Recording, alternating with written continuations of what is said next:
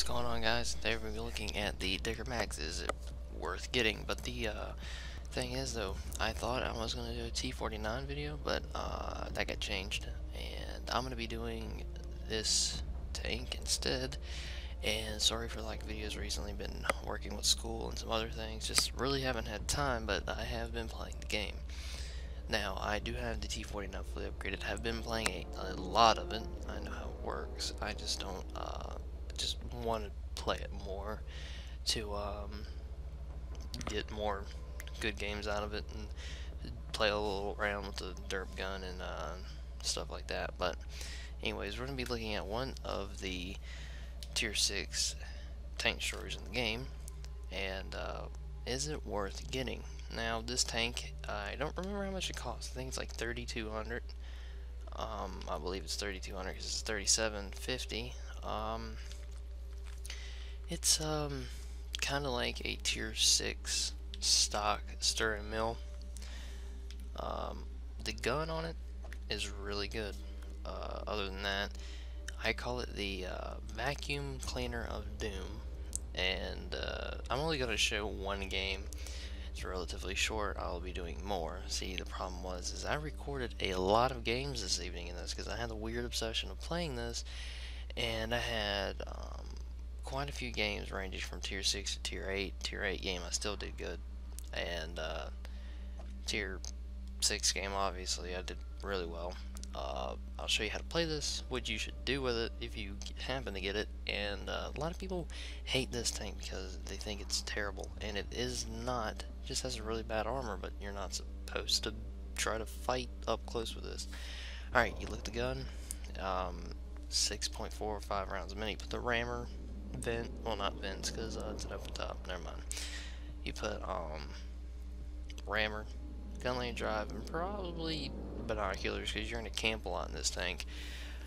Um, but I don't, I don't have anything on it for whatever reason because I've been saving up money and I don't know what I'm going to get back. Um, and uh, Brothers in Arms.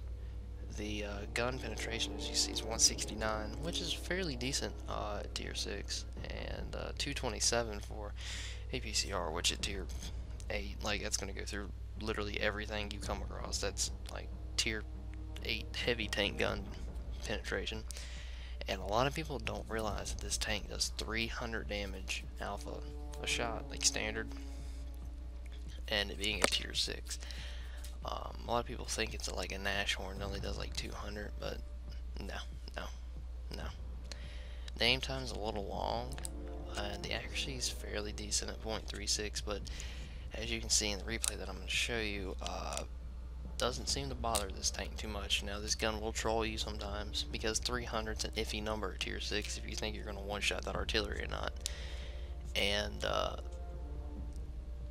it, I really think this is a pretty decent tank. Uh, if you use it correctly, it can bring in a lot of money. Uh, I don't, I don't think you really need to carry a lot of premium rounds. That's the only reason I carry five, and it's, it doesn't have preferential matchmaking, which kind of hurts this thing. But then you look at the gun, and uh, if it did have preferential matchmaking, only saw tier seven, I would say definitely get it. But the fact that it doesn't have it and something like, you know, I can't think of. I can't think of anything else at tier 6 tank destroyer that has, uh, because I know the Su-100Y definitely doesn't. And, uh, there's also tier 6, uh, tanks that you could get for premiums. Uh, I mean, well, I don't know why I'm looking at the Americans. They don't have one. They don't either tier 6 for those. They don't, it's pretty... Which one am I looking at? This is the one I'm looking for, AT-15A. That one has preferential matchmaking. It's, I'm pretty sure it does. I, I am not going to buy it to find out because I really don't want it. But, um... There's so many other tanks you could buy at tier 6 that makes uh, this tank kind of kind of looked over and not a lot of people realize it is actually a very decent tank and it has the gun depression of a god. It's like 15 degrees or something like that, so you can poke ridges. That it's not a slow tank either. It returns fairly decent. It's uh, it's got 50 millimeters, but that's still not gonna bounce anything. And the camouflage rating is really good for it. Uh, I mean, if you get Camonet, Binox, Gun Laying Drive, or Rammer, you can sit somewhere all day and just hammer people, but, you know, not a lot of people are going to get this tank just to camp around and shoot people. Uh, now we're going to get right into the gameplay of, um, well, what I want to show you.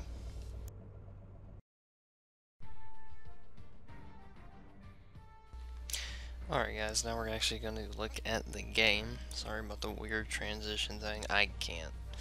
I'm, I'm not good at editing videos as you can tell. Um, but yeah, uh, like I said, this uh, tank is kind of over, like overlooked. Um, the way I feel, I really think this tank has a lot of potential if used correctly.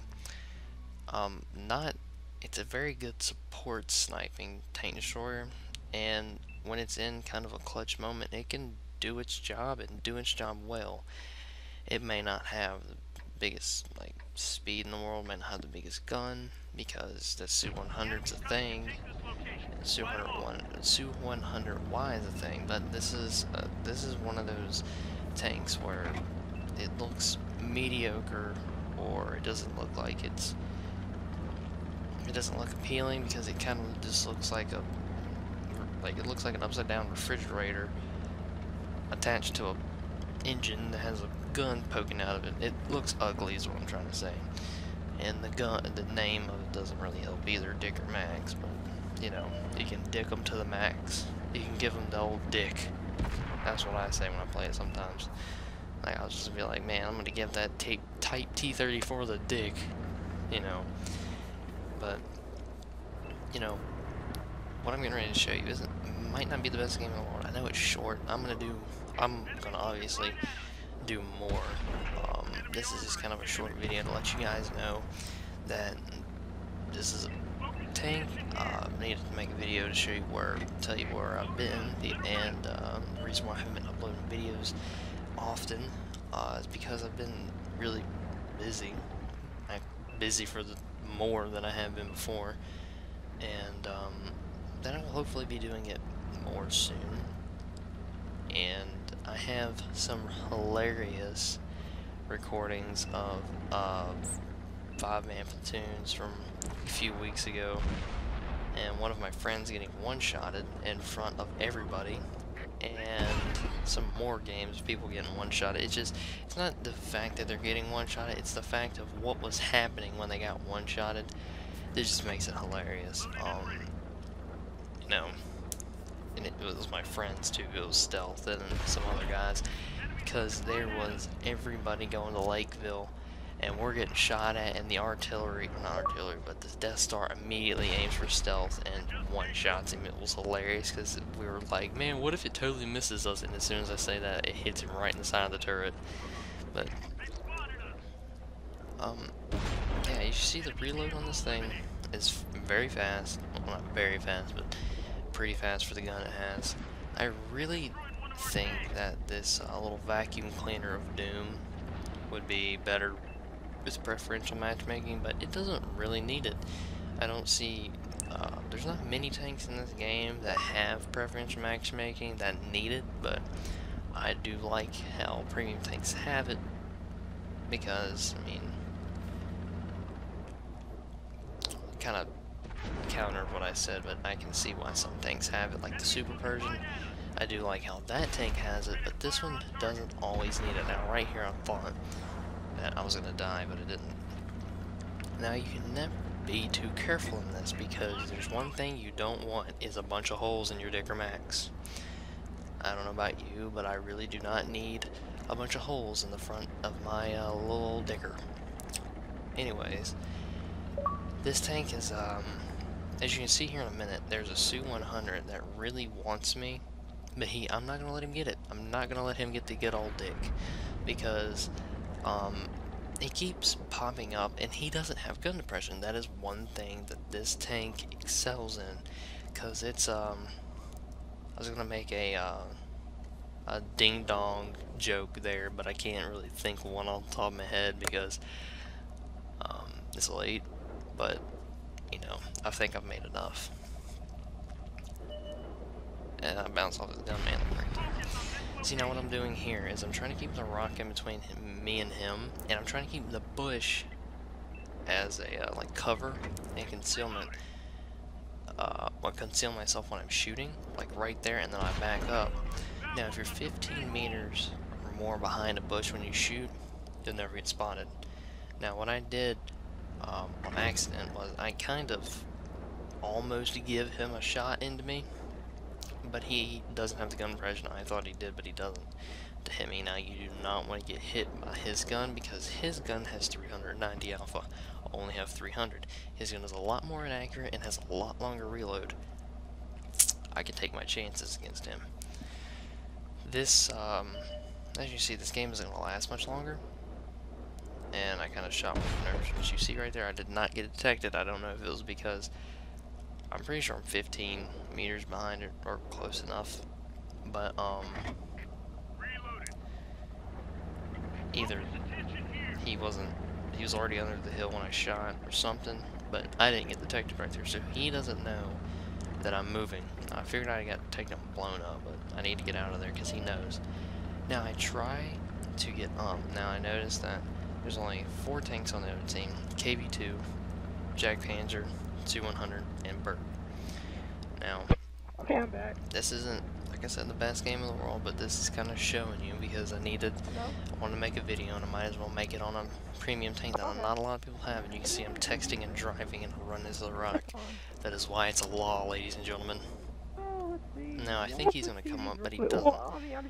I'm not paying attention, but he's actually detected, and he's over there. Oh, You're getting ready to see the uh, accuracy and a kind of a lag with the game.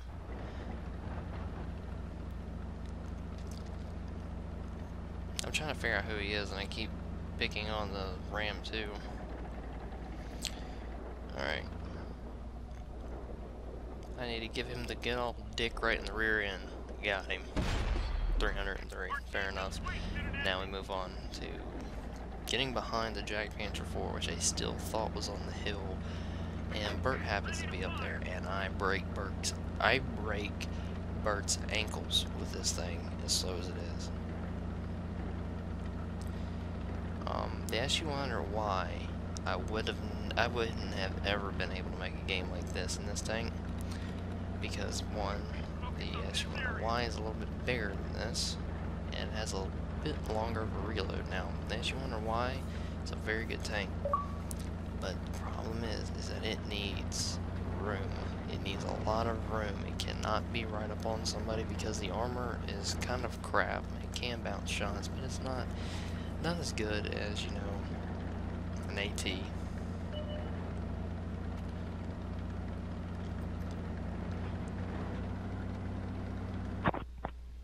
But, you get what I'm saying. It has big, has a big gun. It has one of those, it has the, you can't shoot me because you're dead armor, because if you load the premium rounds, you're rolling for 510 on average, but that's another review for another day. Now he's already made it, uh, Jagdpanzer's already made it around. Oh, he's yeah. gonna try to get on the left side and uh, come in that way. Oh, sorry, I didn't have my like, I didn't have my earpiece in all. I'm pretty oh. sure he doesn't know where I'm at. Oh, it's cool. Now, I don't know where Bert is, but I'm getting up here so I can shoot down on the Jagdpanzer. And you're getting ready to see what I meant by the gun will troll you when you least expect it.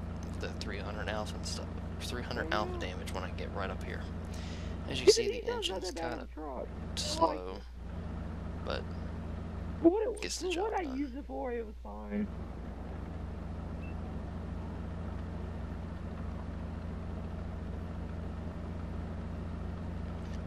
And Bert is right there. He only has 280 health. There's no doubt in my mind that I'll kill him. Hmm. Maybe not. And I figured he was going to get me. Now I break Burt's ankles, I get him in the chokehold, he breaks loose, and I get him. Now here comes a clutch shot, me being detected. I figured he was going to get me. Not all the way aimed, got him. Tie into game right there. Now, if you guys want to see more gameplay of the Dicker Max, or more stuff you want to see, the of course T49. I wanted to do a little bit more games in the T49 before I done more. 76,000 Tier 6 doesn't seem that bad. 2,500 damage, not that bad. Tier 6 game, although should have got some more games, but you know I needed to make a video to let you guys know that I'm not dead, and I'm still here, but I'm busy. But anyways, guys, I guess you can see invite Matt if you. Later.